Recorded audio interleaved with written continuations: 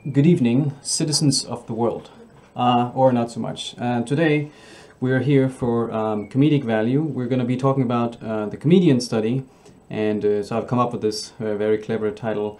And um, let's get down to business. So in 2007, that's a long time ago, we used to have this guy called uh, Christopher Hitchens, who has since died. not very funnily, um, and um, he wrote this article in some woman's magazine, Vanity Fair, and saying that uh, women aren't funny, female comedians bad, uh, they're lesbians, and so on. Um, and this, of course, he, I guess he did that to troll some um, female comedians, and it, it, totally worked. And um, but it, it got me thinking though. So uh, because if you think around in your personal life and so on, chances are most people you know who are really funny are gonna be male. And so what this means is that you can probably figure out that there's a there's a sex difference in, in humor production ability, as it's called in academic language. And um, there is indeed a meta-analysis of this published uh, recently, uh, apparently this year, but I think last year uh, in reality. And um, it's fairly typical standard uh, meta-analysis. Um, they covered about 30 studies, um, 5,000 people, and so on. It's mostly student samples. Um, find the effect size is not that large, 0.3 or so. Um, and of course, since we're a bit suspicious, uh, we're going to be looking for evidence of, of issues, mainly publication bias, right? Uh, so if we start up with the the forest plot here, uh, I don't exactly, I couldn't figure out what they sorted uh, this by, um, but there doesn't seem to be any obvious p hacking going on here. And if uh, you look at their funnel plot, it looks reasonably symmetric. The typical publication bias tests, they come back uh, negative or you know they don't find anything. But considering that the sample size is 28 studies, uh, maybe it is not actually that well powered. These publication bias tests, they need like 100 plus studies or so.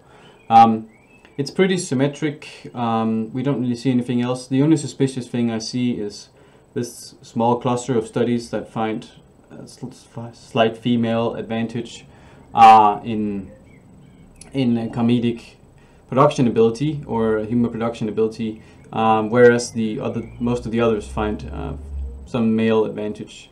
Uh, and we can say that uh, from a epistemic scientific perspective, we would actually expect reverse publication bias here, uh, where larger findings are more suppressed than the uh, than smaller findings. And and the reason for that is that um, there's that the, uh, the people who do these kind of studies are going to be left-wing psychologists and they would prefer a world where there's no sex difference, right? Uh, so this has actually been found for uh, sex difference in spatial ability and, and some other similar things. I have a blog post um, reviewing some of this, you can check it out. But in any case, we don't really see any serious evidence of this, so it's just kind of interesting.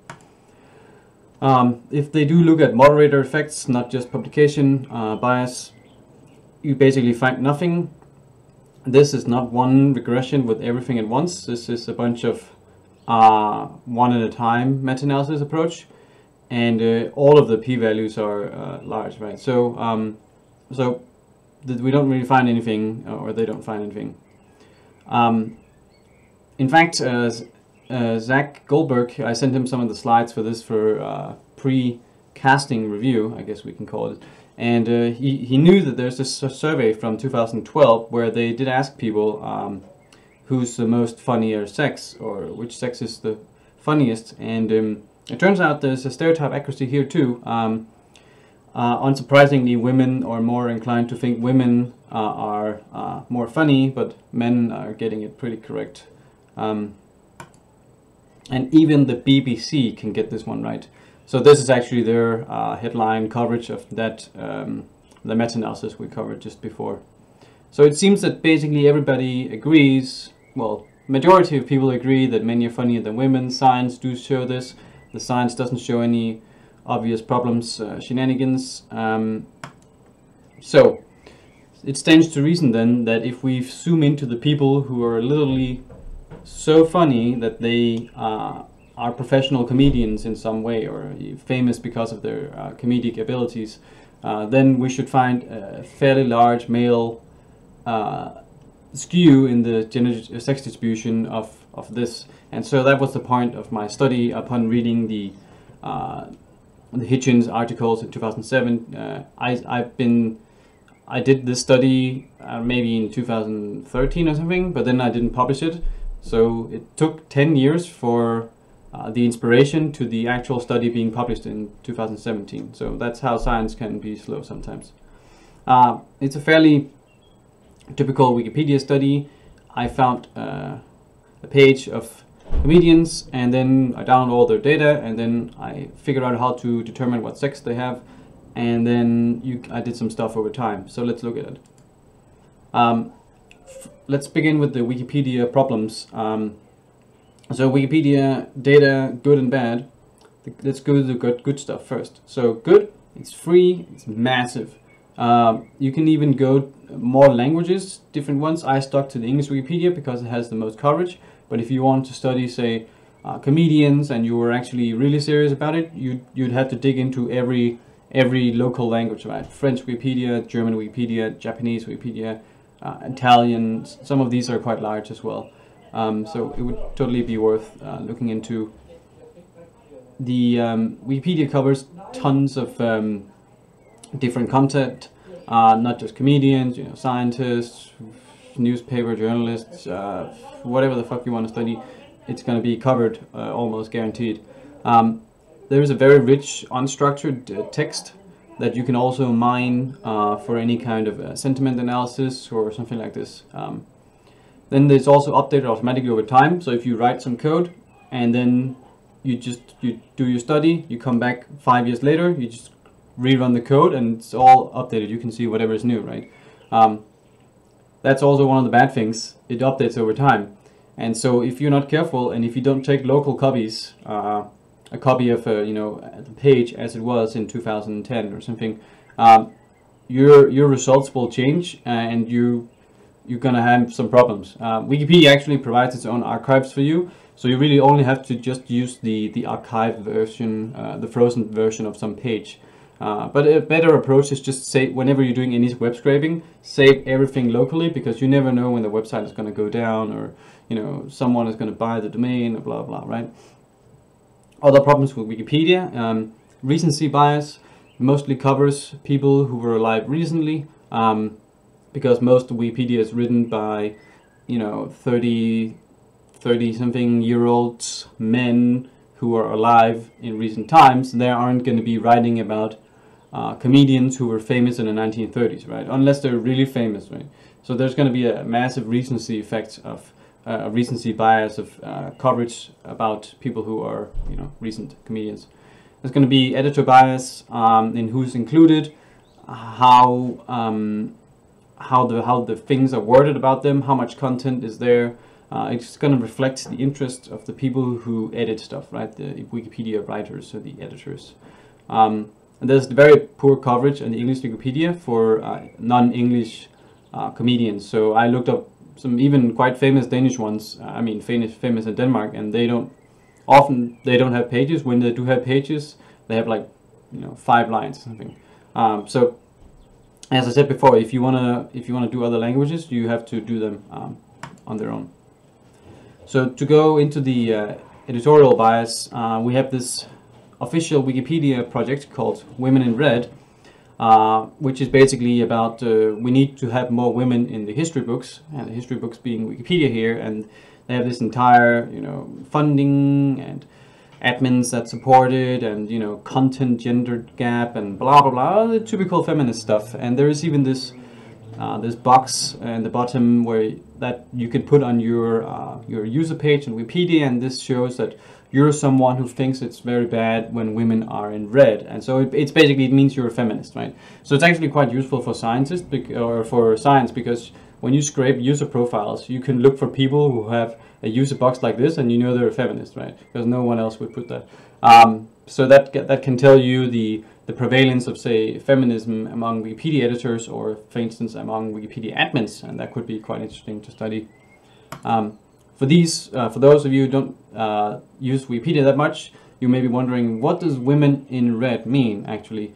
Um, it's not the women in right, uh, the women on the right here, those are not the women in red that you're looking for. No, it's uh, women in red refers to the, the hyperlink being red when there's no page for some person.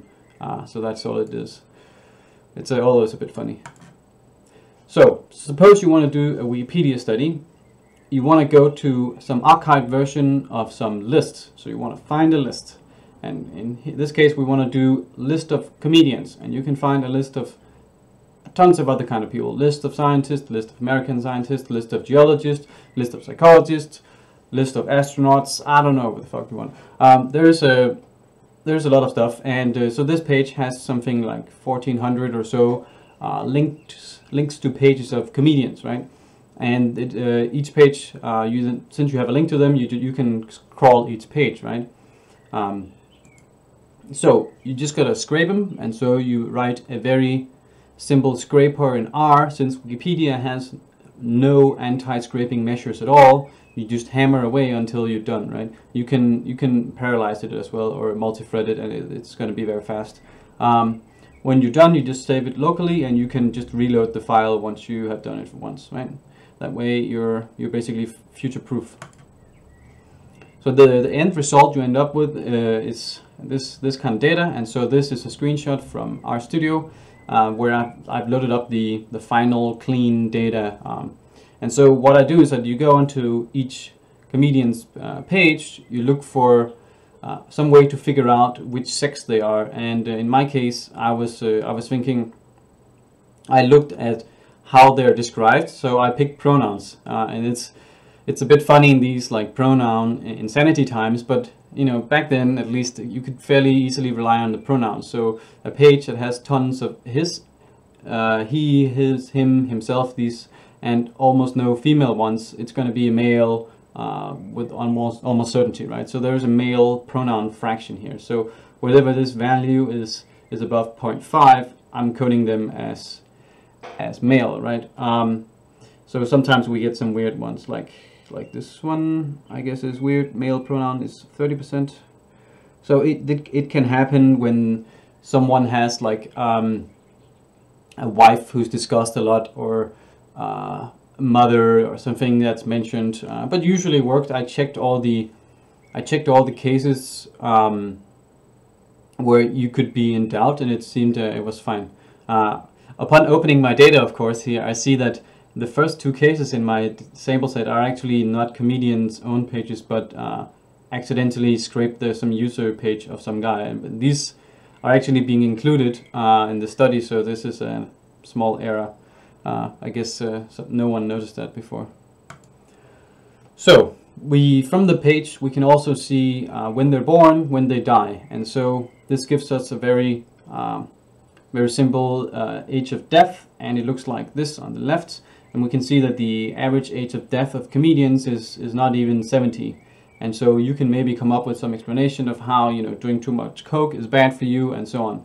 Uh, but the, it has a much simpler explanation that we'll come back to later, and it's simply that uh, most people are born quite recently, and as we see over here with the recency bias and the recency coverage, and um, you can only really have an age of death uh, if you and, and, being born recently if you died young, right?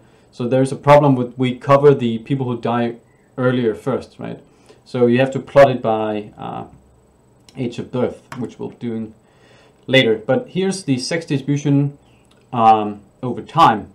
And um, so we can see that comedians are extremely male skewed, or not extreme, but fairly male skewed over time, but it's uh, been sort of declining since the, uh, the late 1800s. Um, particularly most uh, decline around here in the 60s, like 50 something.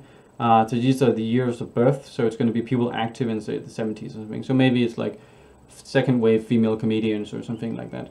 Uh, we see a big decline of, among those born in the late 70s here. Um, so I'm wondering uh, if this is a woman in red bias effect or it's a real change because you, there's a bunch of uh, like marginal female comedians that someone wants to to add and that's really what this women in, in, in red uh, editorial bias stuff does it adds marginal figures of females right so there, it's going to be comedians that no one have heard of, but you can find like two obscure newspaper articles, and that's enough for them to get covered by Wikipedia standards. At least if you're friends with the admins, right, or the admins agree with you.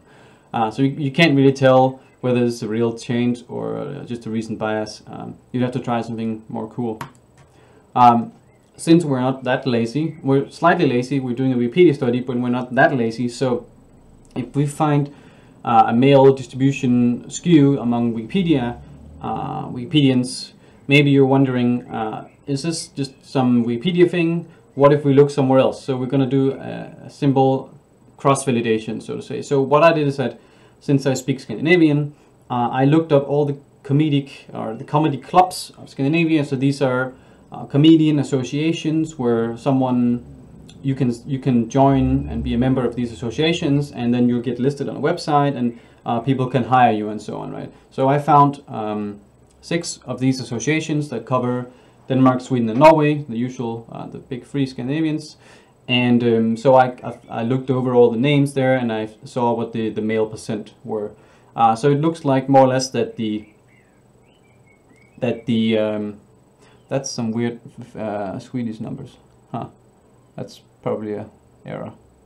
Yeah, um, yeah. So the anyway, so the sex distribution holds also in these Scandinavian data. There's uh, more more women in the Swedish data, as you would kind of expect, because Sweden is more woke than Denmark. Denmark is like 90 something percent.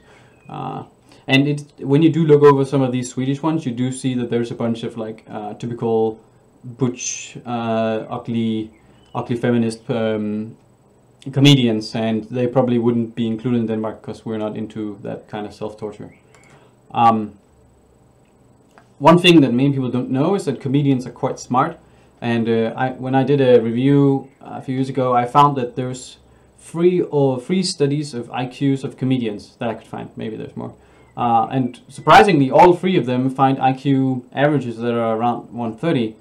Um, and some of them, you know, use this or that test. Some of them are from the 60s. Some of them are female comedians. Some of them are male comedians. One of them compares like just local comedians with students, but they all give more or less kind of the same result in, in the 130s area.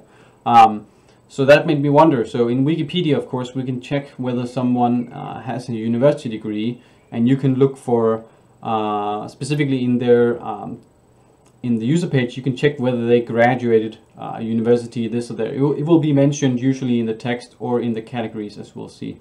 Um, and so we'd expect that if comedians are really two standard deviations above average, uh, they should have really high education levels compared to average of uh, their you know, cohort, right? So what we do is that we plot uh, education by year of birth and by sex, and we see whether they're like really far above uh, as you'd expect.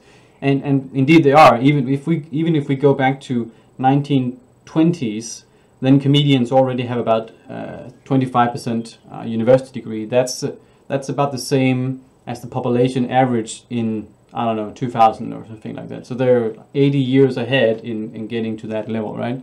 Uh, you also see the interesting uh, female advantage all the way, except uh, for right here. Um, so the definitely education levels are commensurate, they uh, coherent with the uh, with the IQ, right? So we're not um, we're not too surprised there. Um, but we can go further. And so to go back to the uh, life expectancy and uh, co birth cohort. And so we also know that smarter people, they live longer, right? And so if we look at this data, we see the problem with the, the, the recency bias with the, um, with the age of death, right? Because if you're someone who is born in this time, you can't really, um, you can't really be too much older because then you wouldn't be covered uh, as being dead, right?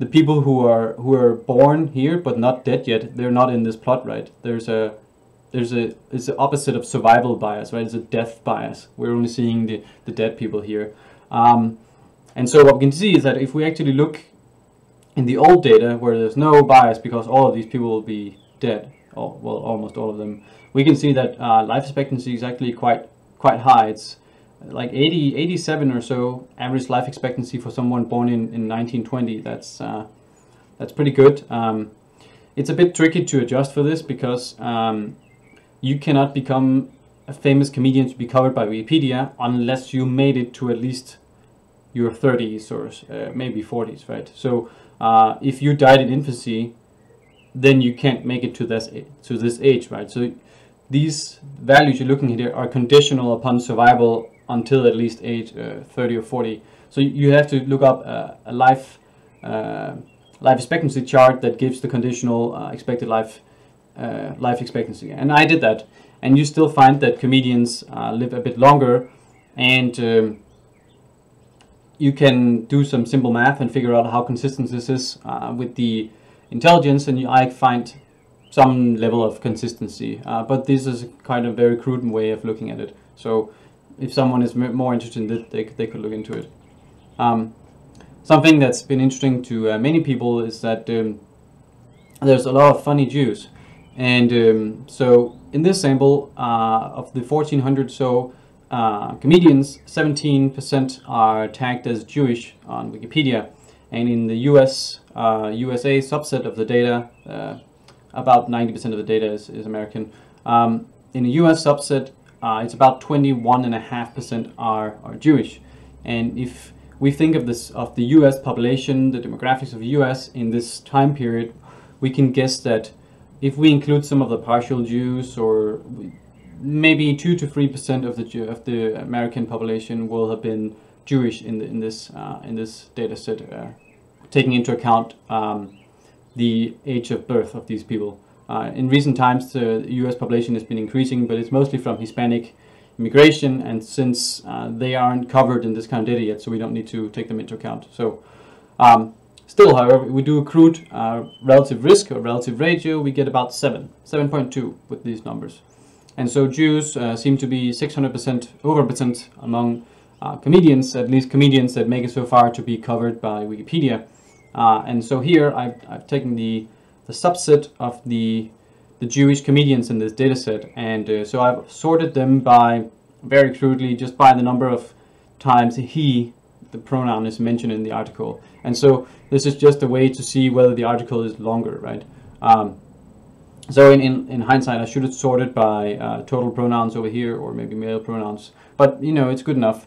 So we see that if I don't really know American um, comedians. But if you look over these, uh, um, hopefully they should be people you've sort of heard of as being comedians and being Jewish. Um, to specifically to see how whether someone is uh, this or that uh, ethnicity or uh, national origin or something like this. Uh, we, the easiest way is uh, looking at the structured data in the Wikipedia categories. And so this is what's in the bottom of pages on Wikipedia, and it will have things like the uh, birth year, the death year, which century they're from, you know, any kind of orders or whatever they received, blah, blah. Uh, male comedians, blah, blah. So a lot of stuff and fairly sometimes redundant, right? Any, any uh, acts they might have been um, associated with will also be there, right? But we also see the uh, ethnicity. So you see that uh, Jewish is mentioned here three times. And so if you just uh, extract this uh, category from any pages that you're looking at, you can easily see whether you know Jewish or Ashkenazi or Sephardic or something in there is mentioned, right? So that's just what I did, and I I I, uh, I did this also for uh, you know national origin and so on for the entire dataset. Although I didn't cover it here, uh, but it's in the paper if you want to see more of that. Um, so that's that's basically how I do it. Um, this will overcount uh, Jews to the extent that this way you'll be counting people who are of partial ancestry, right? And so when we when we're looking at this 21.5%, uh, it's going to include people who are, you know, half Jewish, a quarter Jewish, even, you know, less Jewish than that. As long as they mention somewhere that they have Jewish uh, ancestry or Jewish descent and some journalist or maybe biographer or something, he covers this somewhere, and someone puts that on Wikipedia, it can you can be counted, right? So, um, so it's not totally an optimal scientific way of doing it, but it's uh, better than nothing, right? Um, so, to round it up, uh, this is what we need to do: how to get money for research. This is actually a book written by uh, some feminists in the 1970s or 80s or something. Um, as usual, the funding options for supporting this kind of uh, channel and research is below, and uh, of course your donations are crucial for this kind of research. Uh, all the citation sources, blah blah blah, they're here as usual. Ciao.